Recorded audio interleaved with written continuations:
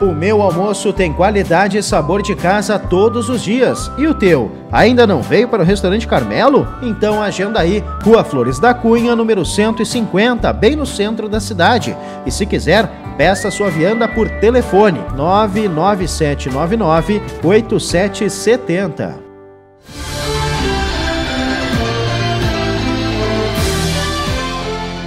A Receita Federal pagou nesta sexta-feira, 16 de junho, o primeiro lote de restituições do Imposto de Renda 2017. Ao todo, mais de 2,5 bilhões de reais foram liberados para 1 milhão e 600 mil contribuintes.